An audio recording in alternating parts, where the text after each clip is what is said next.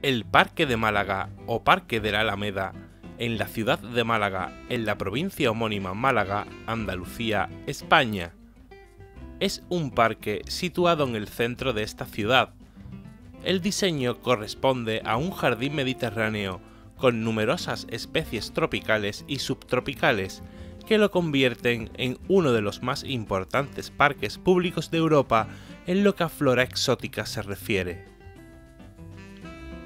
En este paseo con jardines a ambos lados, de carácter renacentista y barroco, existen especies botánicas de los cinco continentes.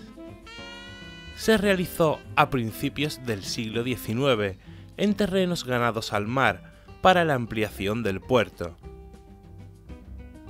En el centro del parque se ubica el Auditorio Municipal Eduardo Ocón, donde a lo largo del año se realizan festivales de música como los verdiales o diversos tipos de actos culturales.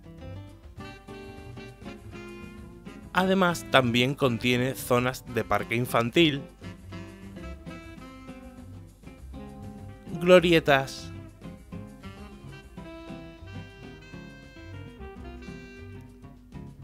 y fuentes.